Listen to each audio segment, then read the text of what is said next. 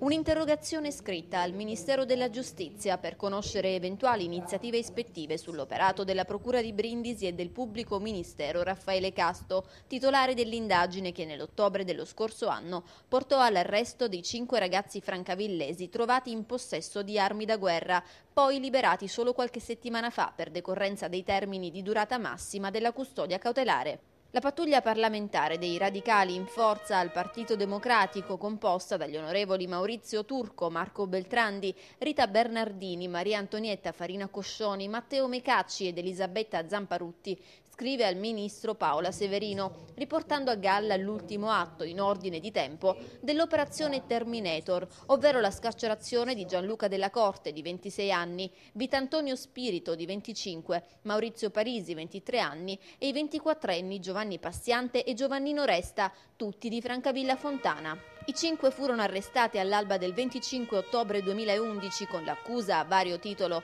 di porto, trasporto, detenzione e traffico illegale di armi comuni e da guerra clandestine, ricettazione ed esplosioni pericolose. Ad effettuare gli arresti su disposizione del PM Raffaele Casto i carabinieri del nucleo operativo radiomobile della compagnia di Francavilla, che nell'occasione sequestrano anche un nutrito e micidiale arsenale composto da un fucile d'assalto, una carabina da caccia e un artigianato artigianale lupara ricavata da una doppietta Bernardelli calibro 12. A corredo del tutto anche 49 cartucce. L'operazione Terminator prese vita dalle indagini atte a scoprire le identità degli assassini dell'imprenditore francavillese Vincenzo Della Corte, freddato a colpi di pallettoni a San Michele Salentino l'8 ottobre 2010 e del diciottenne Francesco Ligorio, passeggero dell'obiettivo Nicola Canovari, ma vittima incolpevole dell'agguato in superstrada dell'11 novembre dello stesso anno e cinque settimane più tardi di Fabio Parisi, freddato la mattina del 22 dicembre nella centralissima via Regina Elena.